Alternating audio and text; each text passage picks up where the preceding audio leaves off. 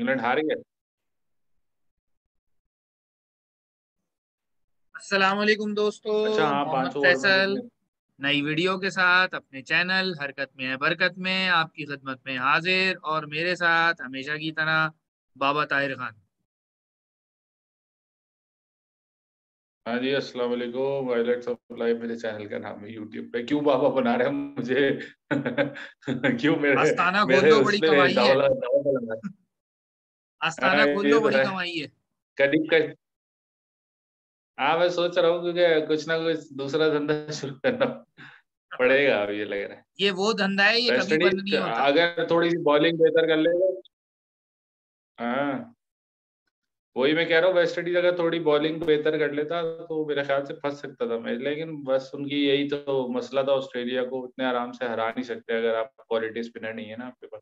हाँ। और यूएई में तो खासतौर भाई आज के दोनों मैच हो गए खत्म।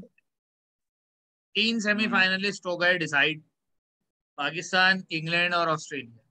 हम्म। चौथा सेमीफाइनलिस्ट डिसाइड होगा कल।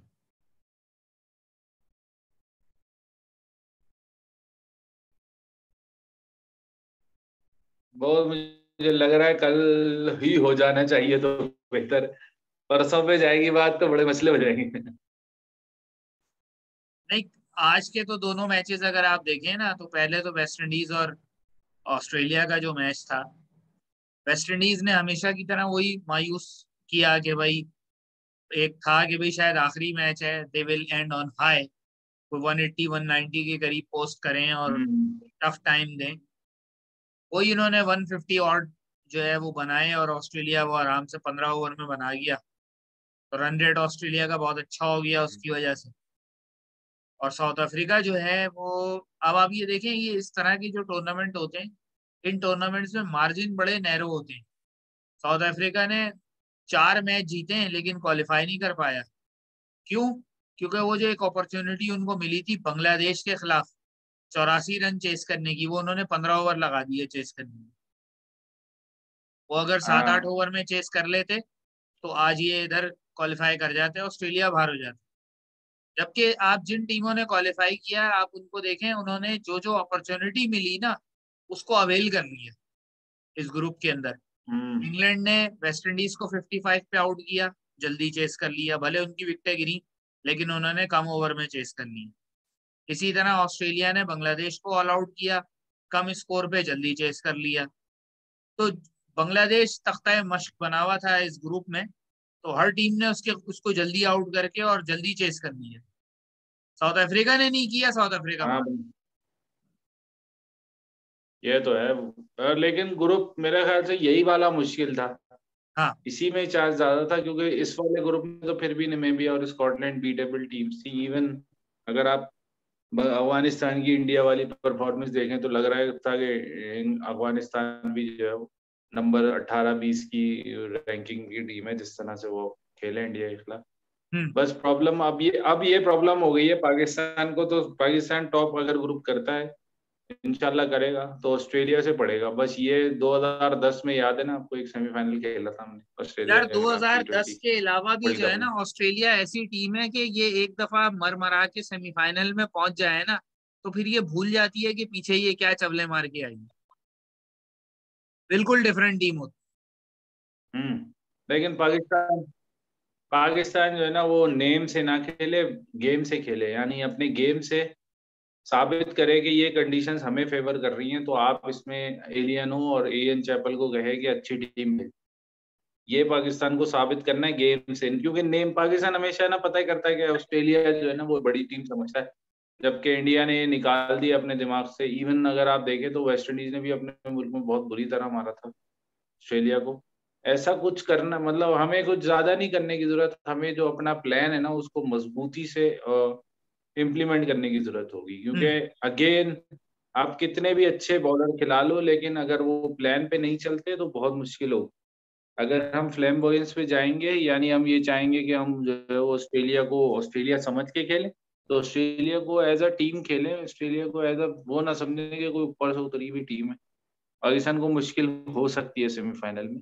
लेकिन बहुत बड़ा लेकिन है कि हमारे वो जो पाँच बॉलर हैं उनमें से अगर एक का भी ऑफ़ डे होता है ना दो का ना हो बस। एक का हो। मैं इसीलिए चाह रहा हूँ कल स्कॉटलैंड के खिलाफ ना उसको खिला दें वसीम को मोहम्मद वसीम। हम्म। देख देखें तो यार के हसन अली अगर ऑफ़ डे कर रहा है तो कहीं ना कहीं हमारे पास कोई रिप्लेसमेंट तो हो ना कोई बॉलिंग ऑलराउंडर टाइप की चीज़ तो हो। कुछ ना कुछ करना पड़ेगा। ये इन्होंने नमीबिया का मैच भी जाया किया। इनको एक ना एक प्लेयर खिला लेना चाहिए था ताकि पता रहे कि भाई अगर क्योंकि वो यही बात है जब आप एक ही टीम खिलाते रहते हैं तो दूसरी टीम जो है उसके लिए रेडी हो। और हसन अली ही मुझे लगता है एक ऐसा लिंक है जिसपे दोनों दूसरी टीम वर्क करके आएगी सेमीफाइनल में ऑस्ट्रेलिया या हम्म। दूसरे मैच पर आ जाए साउथ अफ्रीका और इंग्लैंड यार साउथ अफ्रीका ने तो अच्छा स्कोर कर मैं समझ रहा था इतने नहीं कर पाएँगे लेकिन अच्छा स्कोर कर। मतलब मैं जितना प्री प्री जो प्रीव्यू किए थे टीम्स में उसमें सबसे ज़्यादा कम तस्करा मैंने साउथ अफ्रीका लेकिन फिर भी अच्छा। ही चार मैच जीतना चले वो तो पाकिस्तान के साथ भी हुआ था रन रेट पे पाकिस्तान भी न्यूजीलैंड से पीछे रह गया था 2019 के वर्ल्ड कप में। लेकिन लेकिन मानना पड़ेगा आपने टीम ने परफॉर्म किया है। चले थोड़ी बहुत एलियन कंडीशन थी लेकिन टीम ने परफॉर्म किया है। मतलब चले आगे के लिए अच्छा साइन है। अभी एक साल नहीं है दस महीने के अंदर अंदर दूसरा टी ट्वेंटी वर्ल्ड कप तो होगा यकीन फ़र्क तो पड़ा है। मतलब परफॉर्मेंसेस बेहतर हुई हैं। मुझे अनएक्सपेक्टेडली जितना मैं बांग्लादेश को सोच रहा था कि शायद एक आध अपसेट कर देगा बांग्लादेश उतनी थर्ड क्लास परफॉर्मेंस और जितना मैं साउथ अफ्रीका से कह रहा था कि जितना बीटेबल आसानी से बीट हो जाएँगे उतनी मुश्किल बना। मतलब आप एक्सपेक्टेशन ये थी कि वेस्ट इंडीज और बांग्लादेश आगे आएँगे वो कम्पीट कर रहे होंगे लेकिन यहाँ तो सीन ही उल्टा। है हाँ खैर अब इस वाले जो रात वाले मैच और मज़े की बात आप ये देखें कि वर्ल्ड कप से पहले जिन टीमों के नाम लिए जा रहे थे उसमें पाकिस्तान का ज़िक्र नहीं था। इंडिया का ज़िक्र था बांग्लादेश का नाम लिया जा रहा था क्योंकि बांग्लादेश ने वो कहते हैं ना अन्नी मचाई हुई थी अपने मुल्क में। ऑस्ट्रेलिया को भी हरा दिया हम्म। इसको भी हरा दिया उसको भी हरा दिया। 120 रन बनाए चेज नहीं करने दिए। और यहाँ सूरत हाल ये है कि अब ज़्यादा चांसेस यही लग रहे हैं कि सिर्फ़ एक एशियन टीम सेमीफाइनल में पहुंचेगी और वो पाकिस्तान पहुँच गई। हम्म, कल का मैच तो हाँ ये तो है। पाकिस्तान तो पहुँच चुका है सेमीफाइनल में। Three point one point six five का कैसे बीट करेंगे? पाकिस्तान क्या स्कॉटलैंड से सौ रन से हारेगा क्या? हाँ, मतलब पाकिस्तान तो ऑलरेडी पहुँचा हुआ है। कहने का मतलब ये हाँ, है कि चार में से टॉप करना है। टीम है। टॉप करना है बस न्यूजीलैंड का रन रेट अच्छा है। न्यूजीलैंड का पाकिस्तान से रन रेट अच्छा है बस तो टॉप करना है। अगर इंडिया ने न्यूजीलैंड ने इंडिया वो अफ़गानिस्तान को हरा दिया तो ऑटोमेटिकली पाकिस्तान टॉप करेगा क्योंकि हेड टू हेड में पाकिस्तान ऊपर। Net rate net run rate में भी ऊपर ही जाएगा अगर स्कॉटलैंड को हरा देगा क्योंकि एक मैच तो अभी बाकी। सुबह में है न्यूजीलैंड का हाँ। अफ़गानिस्तान। और शाम में पाकिस्तान का क्या प्रिडिक्ट करते हैं? मे, मेरी तो प्रिडिक्शन ये है कि न्यूजीलैंड आराम से हरा देगा। पहली बैटिंग अगर अफ़गानिस्तान करेगा तो 135 40 का स्कोर आप दिमाग में रख ले। पहली बैटिंग अगर न्यूजीलैंड करेगा तो 170 का टारगेट रख ले क्योंकि कहीं ना कहीं मुझे लगता है न्यूजीलैंड एक दो स्टेप आगे की टीम है। हाँ थोड़ा सा वेस्ट इंडीज टाइप की टीम होती ना सामने या कोई हद तक लगा लें आपके कोई ऐसी टीम होती जो थोड़ी मर्क्यूलर टाइप की हो मतलब अच्छा दिन है तो सबको हरा देंगे। तो आप समझ सकते थे अफ़गानिस्तान हरा देगा। हम्म। लेकिन न्यूजीलैंड एक दो स्टेप आगे है। न्यूजीलैंड आप अभी मतलब क्रिकेट जिन्होंने 2000 सन 2000 के बाद देखनी शुरू की है उनको तो मैं नहीं समझा पाऊँगा, लेकिन न्यूजीलैंड अब जो क्रिकेट खेल रहा है ना, वो 2025 की क्रिकेट खेल रहा है अभी से। आगे की क्रिकेट खेल रहा है। मेथड से खेलते हैं, हर मैच मेथड से खेलते हैं कि भाई किस तरह से प्लेयर्स को यूटिलाइज करना है इवन रन कहाँ बनाने किस बॉलर को टारगेट करना है। डबल किस ओवर में लेने किस ओवर पे बॉल पे हिट करनी है, सब सोच का। और मुझे न्यूजीलैंड, अफ़गानिस्तान का मैच वन साइडेड लग रहा है, पता नहीं। चले देखते हैं कल क्या होता है। चौथी किस्मत का जो चौथी टीम हाँ। की किस्मत का फैसला न्यूजीलैंड और अफ़गानिस्तान के हाथ में। तो न्यूजीलैंड और अफ़गानिस्तान जो है वो कातिब तकदीर हैं इस वक्त इंडिया के लिए। हाँ जी बिल्कुल। अच्छा मैं आपने अच्छा नाम ले लिया क्योंकि मैं सोच रहा था कहीं ना कहीं स्केजुलिंग की बात करूँ। पाकिस्तान के साथ पता नहीं हो क्या रहा है। तीन टूर्नामेंट लगातार मैं देख चुका हूँ। पाकिस्तान के अहम और मुश्किल मैच शुरू में ही हो जाते। यानी आप अगर जैसे वेस्ट इंडीज से हम रन रेट से रन रेट उसी मैच से ही 102 103 बना के जो आउट हुए थे हम्म। उसी रन रेट से हम वर्ल्ड कप से बाहर हो गए थे सेमीफाइनल की दौड़ से। फिर हाँ। आप 2019 का वो 2017 में भी देखें आप चले वो तो चैंपियंस ट्रॉफी थी। लेकिन फिर अब अब आप देखें तो अचानक से पाकिस्तान के तीनों जो मुश्किल ग्रुप के मैच थे वो शुरू में ही करा दिए।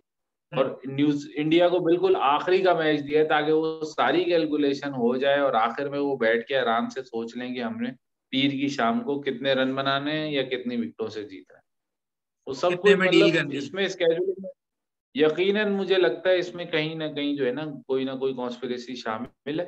क्योंकि आप ये समझ लें कि मैं उस लिहाज से बात कर रहा हूँ कि आप जब एक टीम को लेकर आते हैं तो इवन मैचेस जैसे आप फुटबॉल की बात करते हैं तो ग्रुप के एक ग्रुप की अगर फ़र्ज़ करें चार टीम या पाँच टीमें सॉरी छह टीमें तो एक ग्रुप के एक दिन में मैच होते ताकि सबको सेम डे में पता रहे और आखिरी ग्रुप मैच जो होते हैं वो सेम टाइम पे होते हैं। हाँ। ताकि किसी किसी का कोई कोई वो ना मिले एडवांटेज अननेसेसरी एडवांटेज कि भाई हमें क्या करना है जो मैच हो रहा है साथ साथ उसके साथ मैच होना चाहिए। लेकिन आईसीसी में हम बात कर चुके हैं कि वो सिर्फ़ पैसा कमाने वाली बॉडी है ऑर्गेनाइजेशन भाई आईसीसी के बारे में तो मेरा वो कॉले फैसल है कि अगर आईसीसी को मैं ऑफ़र करूँ ना कि मैं आपको इतने हज़ार करोड़ दूँगा। तो ये गौसुल आज़म के ग्राउंड में भी वर्ल्ड कप करा देंगे। पहले भी आपने ये शानदार तजिया पेश किया था। तो मुझे तो मैं तो इस चीज़ से पैसों की पुजारी ऑर्गेनाइजेशन है कि ये ये भी करने को तैयार हूँ। बिल्कुल हंड्रेड परसेंट कर भी खैर कल का बता दे स्कॉटलैंड से अच्छा मैच होगा या न्यूजीलैंड अफ़गानिस्तान बेसिकली है हमारा तो टॉप पे।